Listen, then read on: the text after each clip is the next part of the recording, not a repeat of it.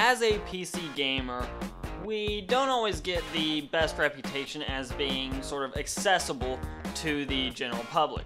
In fact, when you're listening to the console versus PC debate, one of the things that gets brought up more than anything else by far is that console gamers want that living room experience. PC gaming is often cited as being overly complex compared to consoles and is often given a bad rap for not having the ability to uh, game in the living room in comfort and just kick back on the couch, which by the way is completely false. So today I want to go over just some of the essentials that you'll need to have if you want to get your PC up and running as either a media center computer in your living room or more importantly, a gaming center that you can just sit back on your couch, kick back, and play on your TV. Coming up.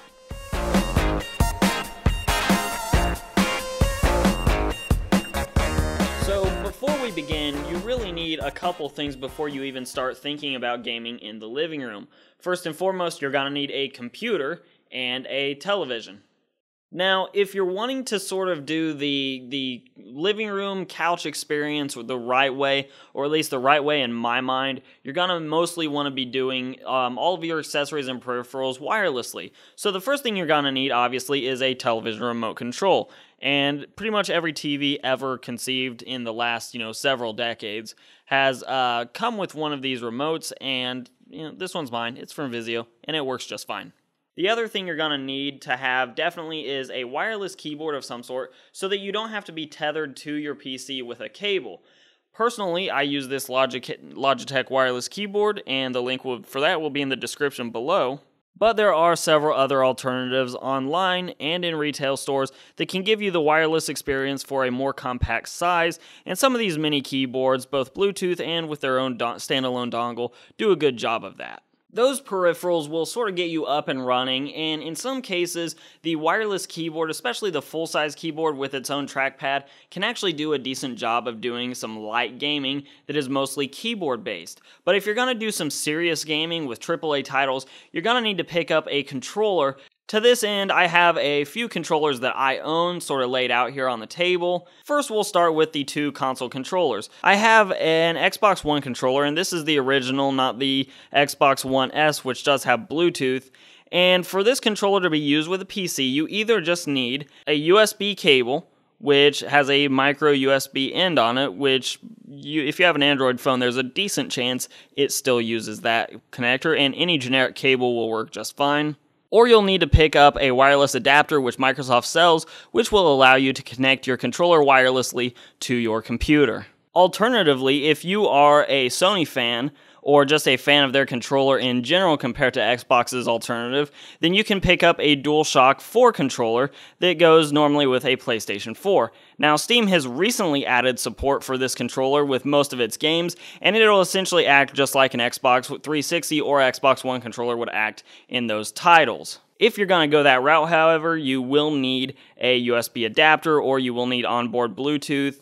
Uh, the adapters, if your computer does not already have its own Bluetooth adapter, are really, really cheap. And I got a four pack for less than $20 of these small, tiny USB adapters, which I will link in the description below. If you're a fan of emulators, however, you may want to go a slightly different route than the mainstream current generation console controllers. For example, if you're gonna go with retro gaming and using mostly emulators, you may even want to just pick up one of these uh, USB SNES controllers that's available on uh, Amazon for as little as about $12. And this particular one does a great job of uh, making those games playable again on your computer. And by using a controller that the games were originally intended for, it really just sucks you back into the immersion of playing retro games as if you had the console right in front of you versus playing it on an emulator. The last controller that I sort of want to highlight here is sort of an oddball controller, and that would be the Steam controller.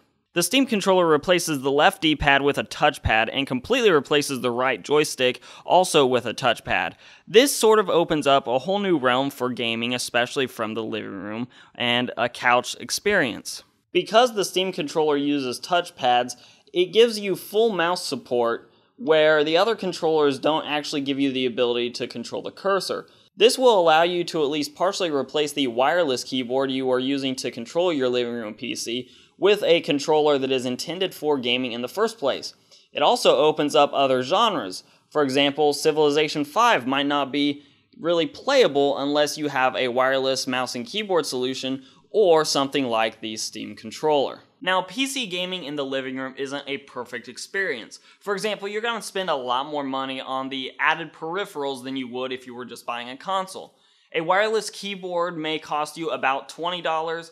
An Xbox One controller with the dongle included still costs over $50. And again, a DualShock 4 controller is going to sort of be in that ballpark as well. However, because you're running a PC, you have more options available on the controller side of things. You can go with a wireless keyboard mouse combo, you can go with third party controllers that may be retro styles or maybe current style, and you can of course go with original Xbox One or PlayStation 4 controllers, depending on your tastes and preferences. In addition, and most importantly for somebody like me that really enjoys real time strategy games, is this setup will allow you to play these games in a living room setting, especially with the Steam controller. Playing Civ 5 on a TV is actually super enjoyable and an extremely cool and kind of unique experience to be able to do. The best part of it all is when friends come over, they'll ask you what game you're playing because maybe they had consoles and aren't really used to seeing those real time strategy games, and that may actually start to get them a little bit interested in PC gaming as well. For this video, I just wanted to point out some of the accessories that you will need to add to your system if you're planning on putting it in the living room. And with these devices, or at least a few of them, obviously you don't need to get them all. You should be up and running and gaming on your couch in the living room in no time. And as always, guys, if you like this content, give me a like down below. Also, share, subscribe. All those things are super helpful. You can follow me on Twitter and Instagram at Hoosier Hardware. I'm gonna go ahead and let YouTube queue up another video for you to watch from my channel. I'm Shane from Hoosier Hardware, and I'll see you guys in the next video.